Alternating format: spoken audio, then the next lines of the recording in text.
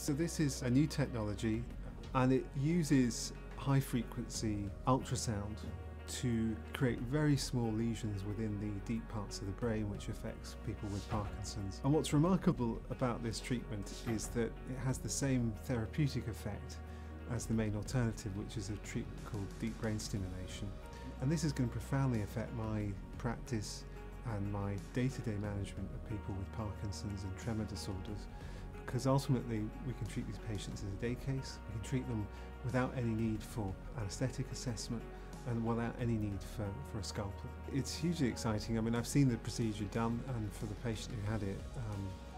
it was um, very emotive because they go from being dependent upon their family members through to uh, being able to be independent at things which you or I take for granted, which is being able to feed yourself or dress yourself or um, do all the things that, again, that normal movement is um, required for.